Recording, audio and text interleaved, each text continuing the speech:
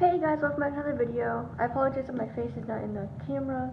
Um, it's like, I have a weird shaped, kind of like a flower base, but it has a rounded top. There's no opening.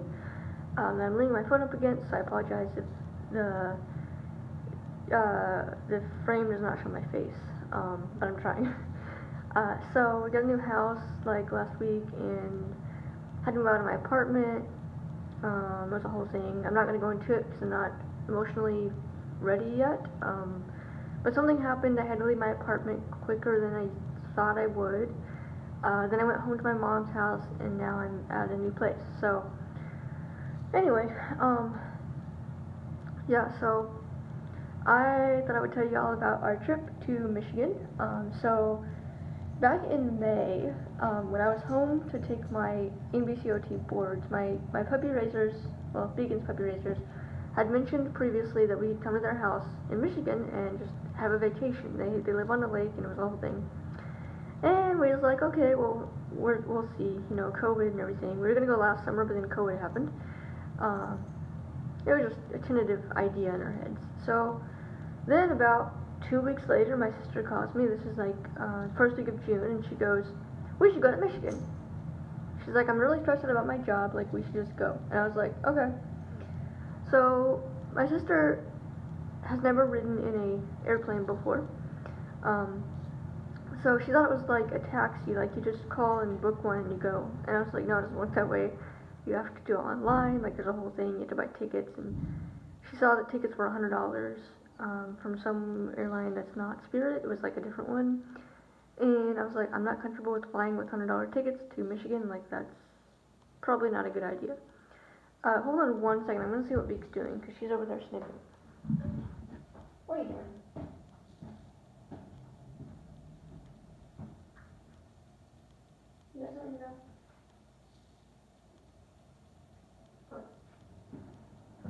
Sorry about that. She's not sniffing. She's just laying down under the table. Um, because we have a table that she can lay now. So anyway. Make sure my face is centered here. Hold on one second. Okay. Um, so anyway, so we were, so I was like, no, it doesn't look that way. Like the tickets are gonna be more. So we look, we look on, um, on uh, uh, like different airlines, like Southwest and all that. They don't fly out of our airport that we needed, so we we had to get Delta. So I don't know if you all know this, but now there's a new rule where if you fly with a service animal slash dog, because service animals are not considered horses anymore under the Air Carrier Access Act. Um, so if you fly with a service dog, you have to have proof that they are vaccinated with rabies and um, that they will behave. You have to fill out this little form that says like, uh, my dog will behave in public if it growls, barks, lunges, jumps, or in any other way seems like it won't be a service dog, then the airport has the has the right to deny you from flying, which I think is kind of crappy. Because like you know, what if your dog's lunging after like I don't know uh, someone that's trying to attack you or something? Then you know that's okay. Like your dog's gonna be a dog, you know. Uh, and and who who gets to make the decision that a dog is behaving correctly? But anyway, I already made a video about that. I think I'm not gonna go into that. So anyway, so there's this form you have to fill out, and it's on a PDF um, document. So we got our book, our, our tickets booked, and that was the whole thing because the app wasn't completely accessible. I had my sister help me. Also, I was doing it with like uh, two or one bar cell service. I didn't have Wi-Fi at the time. Um, so yeah, so we make the serv- we make the um, the uh, the tickets and everything get booked and call the puppy raisers and they're like, yeah, come this day, whatever. So we're going for a week. So then I call the um, well, I get the get the the uh, the airline form online and I try to fill it out. And it's a it's PDF, so I change it to a Word document, type it, and then turn it back into a PDF. Um, basically, I'm just agreeing that she's not going to do anything. They can take me off if they feel necessary. That she's not going to poop on the plane. And if she does poop on the plane, I can clean it up efficiently. Uh, that um, I requested special assistance getting to the airport. Uh, because even though I had a sighted person with me, my sister had never flown before, and I needed that assistant, assistance regardless because I'm blind and I can't figure out how to get to an airport. Um, and you know, it's always good to have an extra person there just for help because, like, we had our carry-ons, we had Beacon, like, you know, we need an extra person. So, fill out the form, then I, I um, well, okay, so back up. So there is a way to submit it on Delta's website. So I go to Delta's website and I'm trying to submit it. Nothing happens. Nothing happens. It kept saying some kind of error or something. So I was like, okay, well, I'll just call Delta. So I called Delta. Four hours later, I'm still on the phone, on hold. Uh, and I'm like, oh, this is getting so annoying. So then I was like, fine, I'll just text them. So I text Delta. Uh, and I still wait for hours and hours and hours because they're still super busy. Finally, someone texts me back and says, oh, I can't really help you, but call this number at whatever. It's like their accessibility number. So I called him.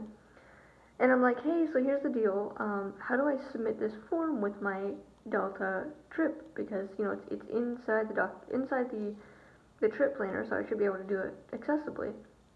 And she was like, well, uh, we haven't really figured it out yet, so if it doesn't work, try to send it through an email. And I was like, okay, what's the email? And she's like, well, you have to submit the document first. Um, like, go ahead and submit it without the form, and it'll say something about, please respond to this email. Uh, and then you submit it that way. And I was like, well, why can't you just give me the email so I can send it that way? She goes, oh, I can't do that. I was like, well, why not? Like, I, I still need to submit it. Like, it's not going to just go away. I don't have a printer at my house because um, my roommate's printer was broken. And she's like, well, just go to like a store and print it out. And I'm like, uh, no, because one, I don't even know where I would go because I don't have transportation to the store. This was also when my roommate was gone. She was gone for like a month, so I had literally like no one um, that had a printer that I could borrow uh, in a conveniently timed manner. So um, I was like, but I still want it in accessible format on my phone or PDF you know, so I can show the people I have the form. And she was like, well, I don't know. Figured out, basically. Um, and I was upset, because I'm like, you're the accessibility team, how do you not know? Uh, and they were just like, well, we haven't figured that out. And I was like, you've had six months. This, this thing has been in effect since January of 2021. Like, come on. Um, and then I had to call my vet, my, my local vet, and my vet from my hometown and be like, hey, I, I had this form, so they might be calling you because apparently they're very strict about that.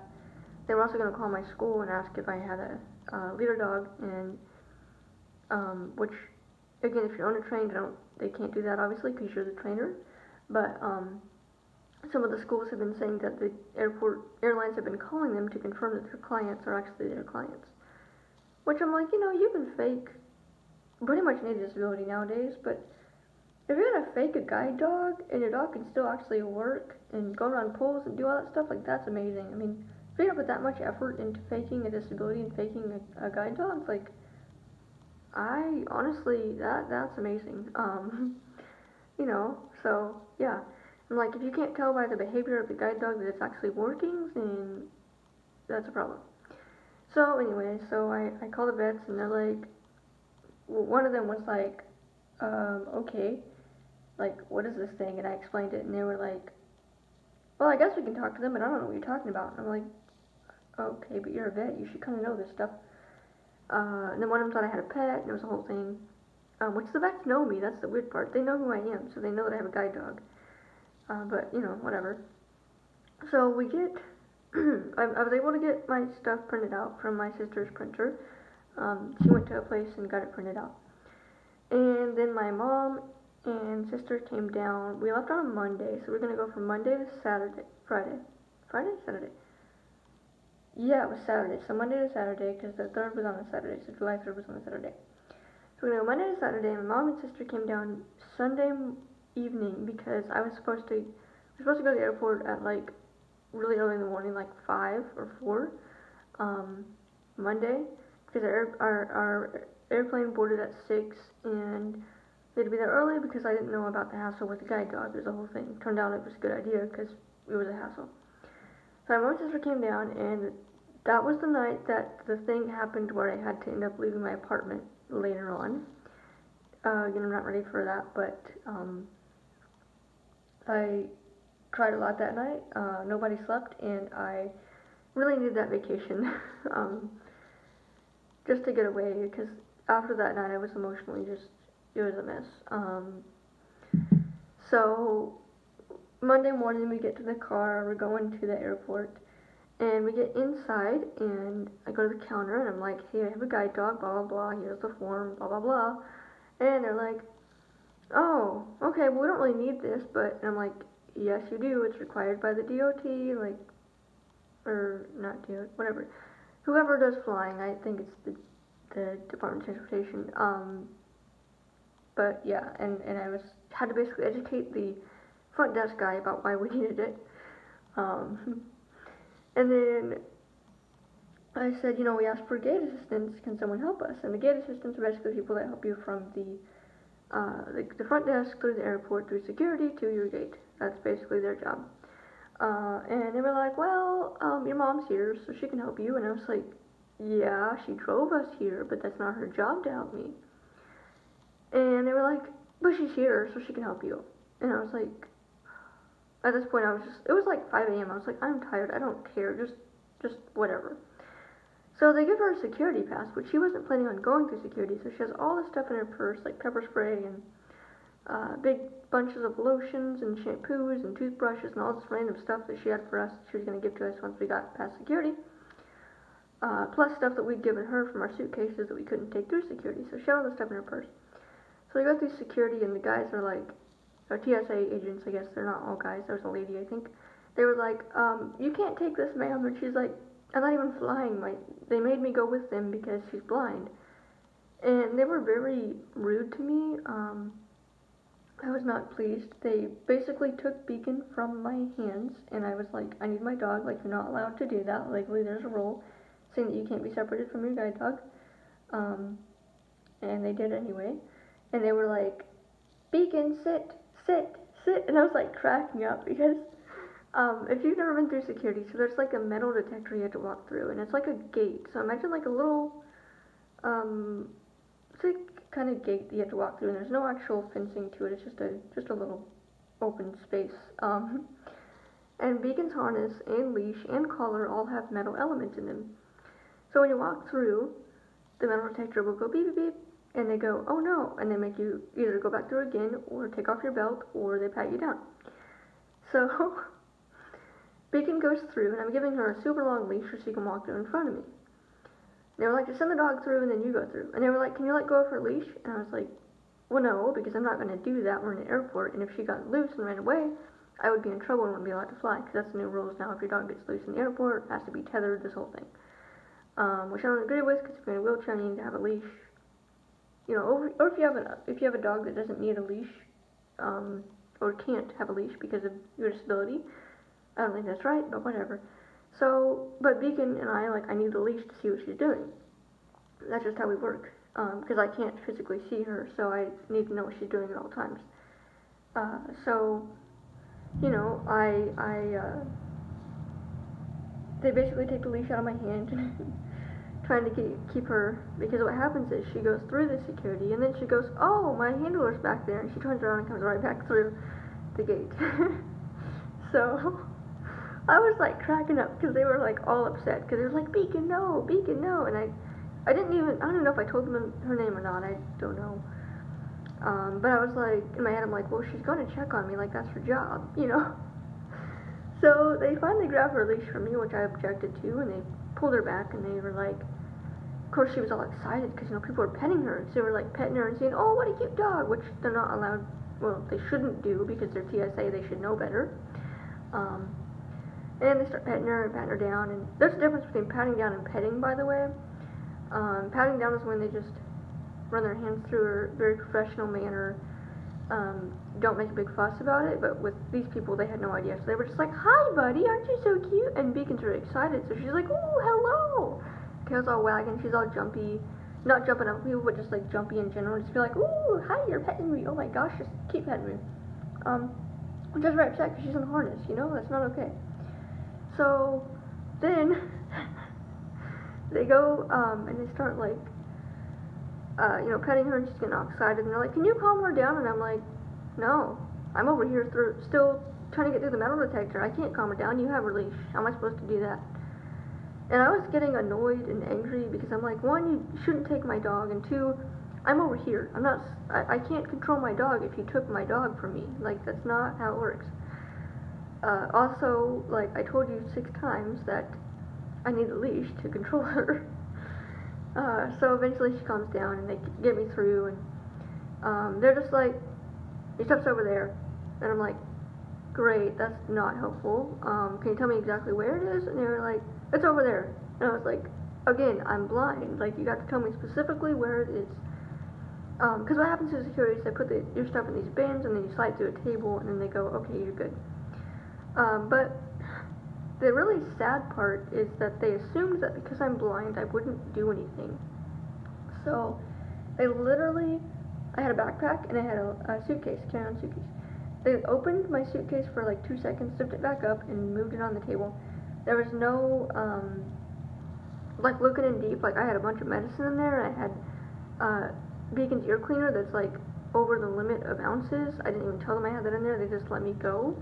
Um, I still had like most of my stuff in the backpack um, that they should have told me to take out, but they didn't. Um, so you know, I was kind of upset because I'm like, if someone like was faking blindness just to do something to the airports or to the plane or whatever, they could get away with it because these people didn't even check. They was like, okay, you're good, bye, and I'm like, I could have a bomb, you don't know, like, come on, do your job. But they didn't, so whatever. Um, luckily I didn't have a bomb, obviously, but, you know, I could have, and they wouldn't have even cared. They would have let me go, and it would have been their fault. Um, so anyway, we get on the plane, or we get, sorry, we get to the gate. And then, this is my mom's still helping me, by the way. Mom and sister. Um, we get to the gate, we sit down, and we're just chilling at these little uh, metal chairs and waiting, waiting, waiting my sister starts freaking out. She had to go to the bathroom like 20 times because she doesn't like flying ever. She's never flown before, so I understand. So then they say, pre-boarding people, please come to blah blah blah. So we're like, okay, cool, that's us. So we go to the plane. We get on the plane. People were very chill. They helped me a lot, um, which is really nice because they weren't just like figured out. They actually assisted me onto the plane and guided me to my seat, which is amazing. Then they took my suitcase um, because it wouldn't fit in the overhead compartment. Um, because the plane was small, we had like a weird thing going on, I don't know.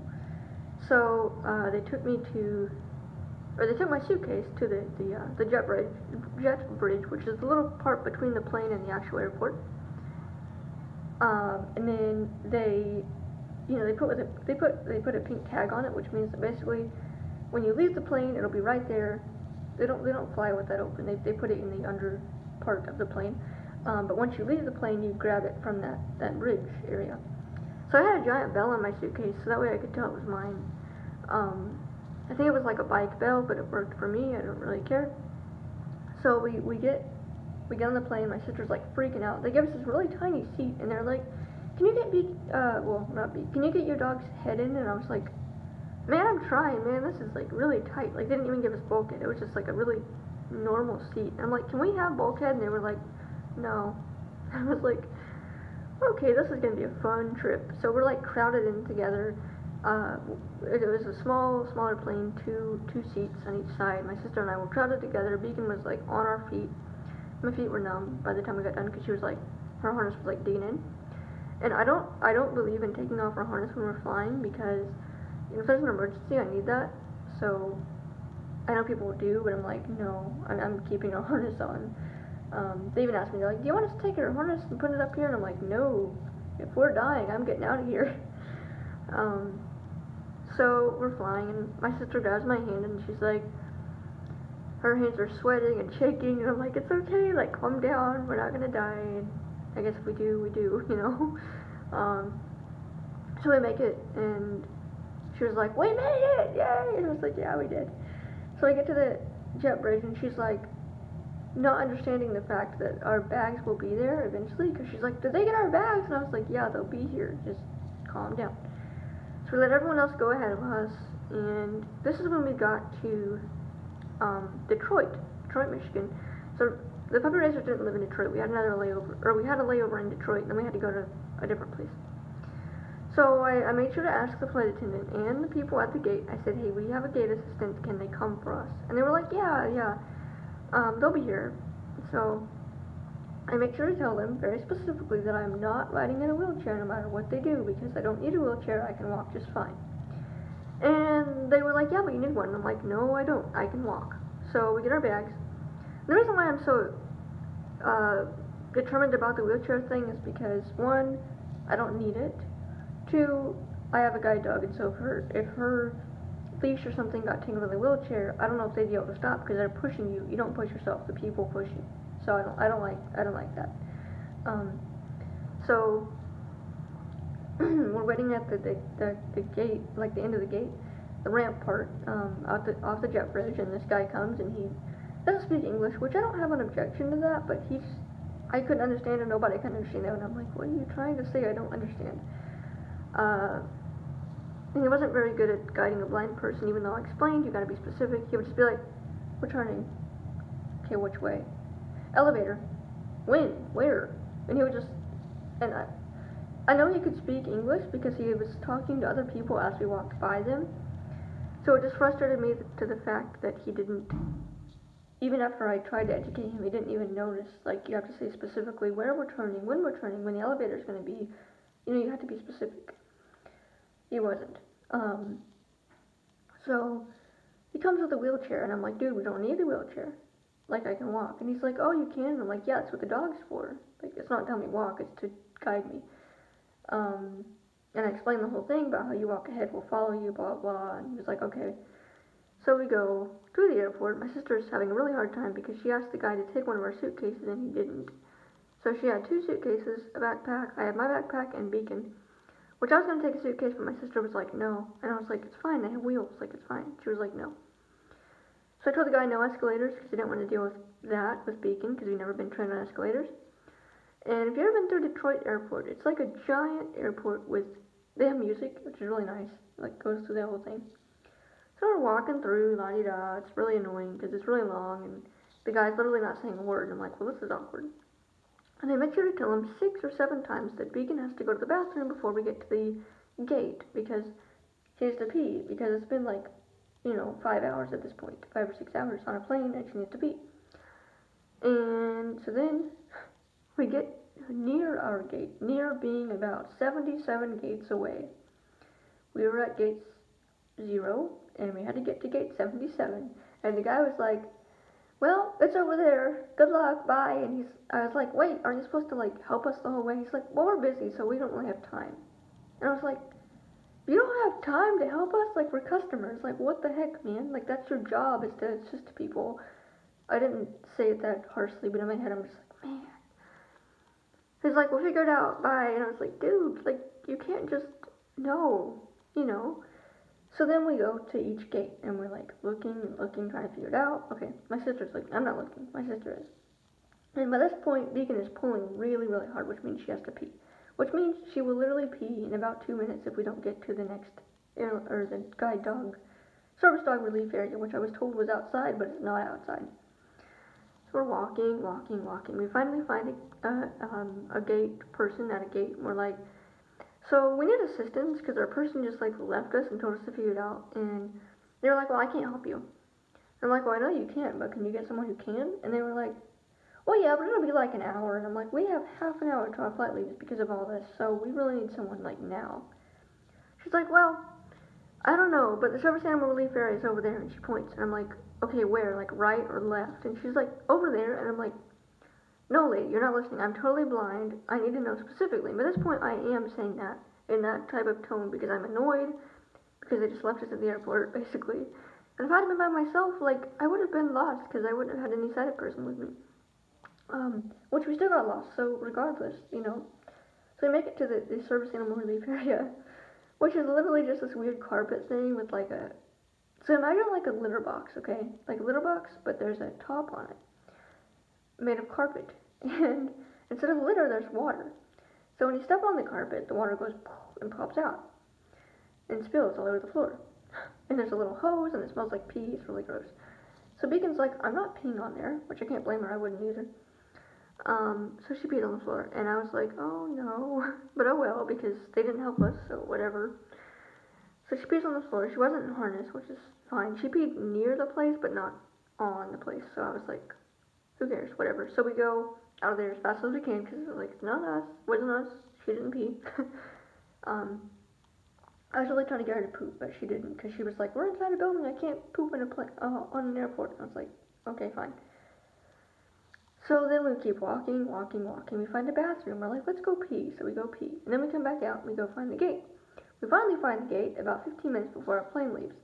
And then we get to the gate. We tell the people, hey, we want a pre-board, blah, blah. And they're like, okay, that's fine. Then they go, by the way, people, um, your flight's been moved to gate, fill in the blanks. We're like, okay, fine. So we go to that gate. Then, um, so we're waiting to pre-board, and eventually we do pre-board. We get on the plane, we get to the place, and oh my gosh, like, uh, we got off the plane, and they were like, "Do you need assistance? Do you need assistance?" This was a small airport, and I'm like, "No, we're okay." Like, our person's gonna meet us at the baggage claim, which is outside. But um, can you tell tell us how to get there? And they were like, "Yeah." So it, there, it was a pilot, I think. He gave us extremely awesome directions of like Walk about 10 feet, turn left, walk about 10 feet, turn right, except he said steps, not feet. Um, and I was like, this guy is awesome, thank you. Um, and I was like, man, you could have helped us a lot at our last one in Detroit. They just left us. And he was like, really? I was like, yeah. Um, so we get we get to the the um, the uh, place and we meet our puppy raisers, and it was awesome. We went on vacation the whole week. They have a really nice house um, with a dog pen, and it was amazing because the pen is fenced, and Beacon was like, "Whoa, freedom!" And they have a beach, and we went kayaking, we went tubing, uh, we went touring of some national monuments. We went to see the, um, I'm not going to say who because that would give away the city. We went to see a big city. We went to the, um, uh, there was like a, a festival thing we went to. There was a concert at a park we went to. There was like an orchard place with like apple cider and, and like a winery kind of place, brewery place. Um, we went swimming in their beach, which was amazing that they have a beach next to their house. We had campfires. We they have a pet bird named Squeak. Love that name. Um, and he talks, so that was cool. Um, I actually got a video of him talking, so that was really neat. Uh, they had three other dogs. I'm not going to say their names, but two of them were career change later dogs. One of them was adopted. Um, the first one, I'm sorry, the little one that they just adopted, or just got back to them, um, was dropped. Literally, she was at the last point of the medical evaluation um, before she got matched with the client, and they were like, they found a little lump on her, uh, one of her elbows, and so they were like, sorry, she can't be a guide dog. Um, but she is so bouncy. She's just like a really, she's a golden retriever, and she's like, woo, I'm a Tigger. So I, I jokingly called her Tigger because she's just really bouncy. um, but you know, it was really nice because I could leave Beacon free and I didn't have to worry about it. Like, this is the first time I've ever been to someone's house where I could just let her go. And she would just do whatever, you know. Um, that was relaxing and honestly after what happened, which I can't go into uh, legally, and also I'm not ready for that. Um, I needed that. I I slept really decently. I kept waking up at like four or five in the morning, but I still slept. Um, I didn't cry, so that was nice. Um, mentally, I think I was just. It was good to get away um, from what happened, and uh, physically, I was like, I am doing so much better than I was last night, which would have been Sunday, and you know, so. Uh, anyway, so then I, I get there and I, I got a job interview while I was there, and I was like, oh crap, I'll do this next week. So then, as we're coming, ooh, I also have to tell you, we went to this awesome cheese shop. I love it. I went to it when I was a leader dog, different place though, different different town. But they had a shop with cheese, and I was like, ooh, cheese, even though I can't eat it because I'm lactose intolerant, but I had a little bit, and then I paid for it, but that's okay. Um, but it was cheese. It was so good. Oof, so good. I was like, whenever we were leaving, I told the pepper raisers, I'm like, here, you guys can take this, because I don't want to eat it all. Mmm. So good. So then, uh, what else did we do? Um, oh, oh yeah, so if you've ever been to Michigan, they have this place called Mackinac Island. It's like a little island, uh, across from Michigan. I think it's still part of Michigan, I think, but just like it's not, it's an island. Um, and they make fudge there. It's really good fudge. It's like amazing fudge. And we found it at a grocery store, and I was like, oh look, I found my fudge. And I was so happy. I love fudge, even though my body still doesn't, because again it's lactose. But I was like, yes, fudge, woo! That like made my day. So then we go to the airport early, and we I give them the form for the service animal form at the gate or at the counter. I'm sorry. And they were like, "Would you like assistance?" And I was like, "Yes, I would love some assistance. Thank you." So then, uh, this lady comes and she walks with us to the, the security. Our puppy raiser, uh, one of them walks with us to the to the security area.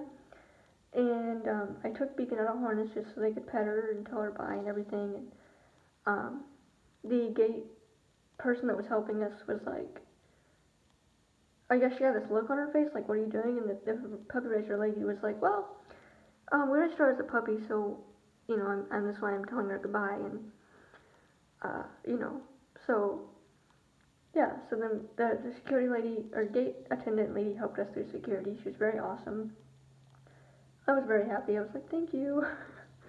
um, she got all my stuff for me, helped me put it back in her backpack, like, did all the things, uh, helped tell me what everything was so I could figure out where to put it some of the stuff that I didn't, you know, I couldn't find it. She'd be like, it's over here to your left or over here to your right or whatever. Um, you could tell she had helped blind people before because she was awesome. Then we go through the, uh, what do they call The, um, the security. They're awesome. They make me take everything out of her harness pouch, which I was like, thank you, because that's what we need to do. Um, they were very professional about patting Beacon down. They didn't pet her. They were just like, you know, patting her down like they should be as professionals. And they were like, she's really well behaved. And I was like, thank you. Also, you're not petting her like the other ones were. So they um, they took her leash for like two seconds, but they they told me what they were doing the whole time. They stood her like really close to me so I could tell what she was doing. Um, so I wasn't as panicked this time because I was like, you know, if she learns hard enough, she can get away with get away from somebody who wasn't expecting it. So, you know, they were very chill, and I respectful, basically. They were very respectful of me as a blind person.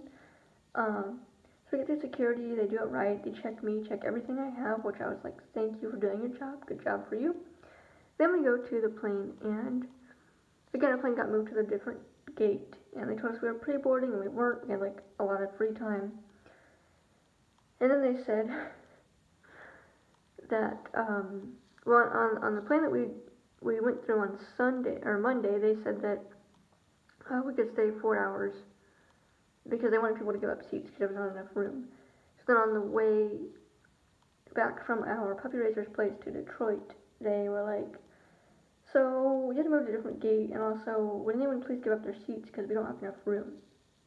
And they were like, no, because, well, we were like, no, because we have a we have a flight, like we can't just leave. We're gonna come at like 11 o'clock. Um, and my roommate was picking us up. My mom and my mom had went home to her home. Uh, so my roommate was picking us up from the airport. So she was back in town. She's picking us up. So we go um, from our to our on the on the plane.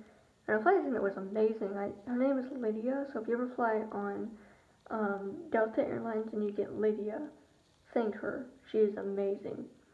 Uh, she literally is youngish and she explained everything she was doing safety wise. She came over to me and made sure I understood what was happening. Um, she was like doing the usual, do you want cookies, pretzels, peanuts, whatever, you know, the choices were. And she, instead of asking my sister what does she want, she literally came to me and was like, uh, well, I think she knew my name. I think I told her my name. She was like, would you like some pretzels, cookies, blah, blah, blah. And I was like, sure, I'll take some. And I said, thank you for recognizing me as a person because literally everyone today has been like, does she want, would she like, can you tell her? And I'm like, I had a person speak to me. Even if I can't speak back, speak to me.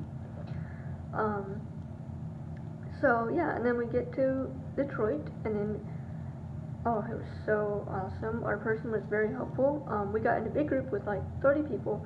They were guiding us. They were, we were laughing at each other because some of the stuff that would happen. Um, 10, maybe not 30, there was like 10, but there was enough, and a, a lot of people. They stopped for us to let me go to the bathroom, which I was like, thank you so much, this is awesome.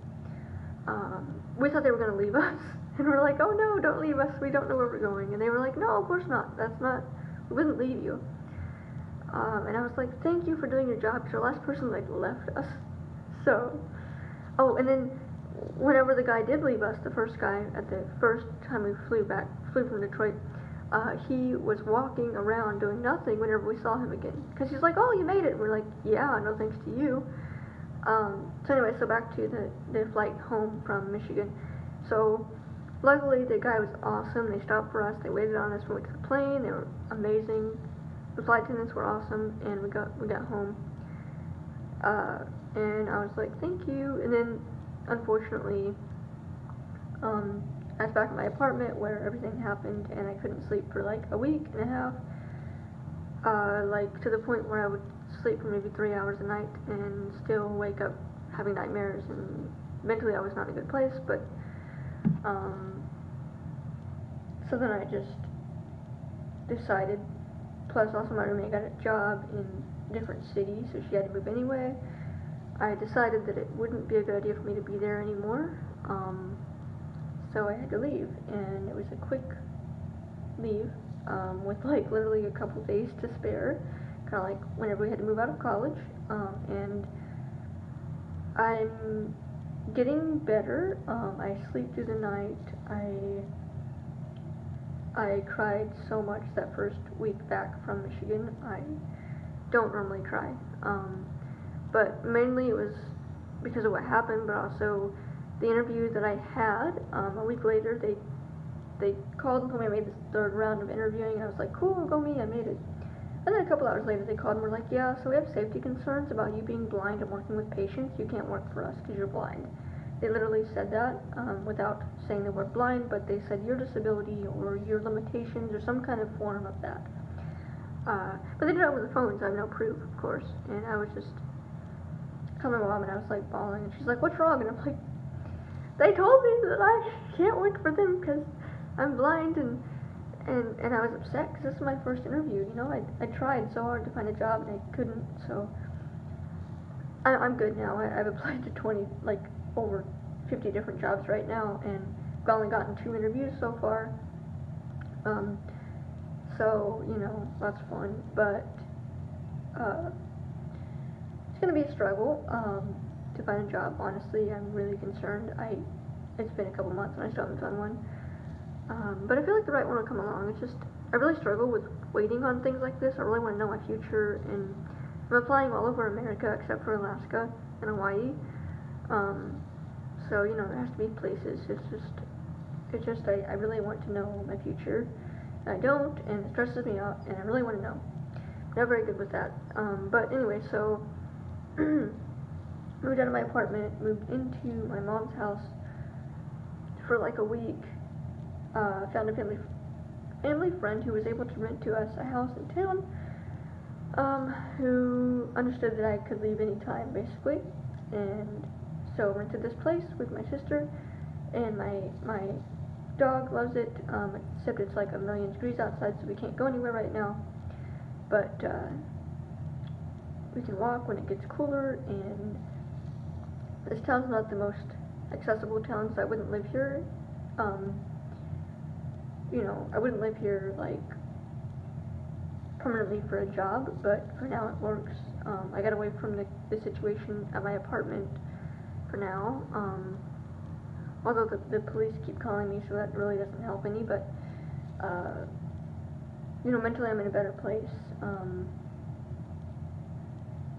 emotionally, I would say maybe, but I still, certain things trigger it. Um, something will happen and I'll just be like, oh, that reminds me of what happened. Or someone will get really close to me and it just, oh, um, so, so I want to say mentally I'm doing good, but I I can't say it's I'm I'm okay completely. Um, not just with the job thing, but with everything that happened and just trying to trying to deal with it. Um, so you know, I'm I'm in there. I guess I'm I'm hanging in there, but it's it's not super easy. Um, one day I do want to talk about it, but if you want a general idea of what happened, um, look up Joy Hu's video uh, Joy and then HU is who. Uh, she's a blind YouTuber and she also made a video recently about um, something that similarly happened to me, just not where she said it would. Um, and not not how she described it, but something similar happened. So if you want to know what happened, look up her videos. That'll kind of give you an idea of where I am mentally and why. So, um, yeah, it's been crazy, stressful, annoyingly weird, but I'm doing okay. I'm sleeping and um, I haven't been crying, so that that's good. um, I, I don't cry a lot, but literally the week after vacation, I cried for oh gosh, one time I cried for like three hours straight, and I knew why I was crying. That's what made it worse. Um, so yeah. Um, but anyway, thank you all for watching. this is a super long video. I apologize. I just really need to talk to people. Um, and I, I thought that I would give you the joy of flying as a blind person first before I broke the before I told you the you know the bad part I guess about my life and how crazy it's been right now. Um, so yeah. Anyway, thank you for watching and um, ooh I do want to add real quick though because some of you will ask. So I was in a could have been a dangerous situation and Beacon was not there. Um, so she was not affected by any of this that happened to me, although she was, uh, well, now she's being very protective of me. Um, I think she knows that I'm really stressed out about that stuff. I, I went and bought a bunch of self-defense items, um, and I didn't walk alone ever in my apartment building or outside my apartment building. Um, so anyway, she wasn't affected by this at all. She wasn't even there when it happened. Um, but she knows something is wrong because I, I just don't, I'm not as cautious as I, or not cautious, not as um, trusting of people as I once was. I, I um, try to, I guess, I don't know, I, I just really now I, I just really don't trust people that much anymore. Um, trying to fix that. Uh, I just don't want people close to me physically. Um, I want to like run away. um, worse than I did before. I don't I don't like people being close to me. So like like when I went to the hospital because I sprained my ankle last year, all these nurses and doctors came around me because it was COVID time. I was like, please go away, please go away. And they were like, your heart rate is spiking. And I'm like, I know because I'm freaking out because you are right there. Um, but now it's gotten a lot worse. Um, I don't like people being next to me. Uh, strangers especially. I'm just like, go away, like, go, ew.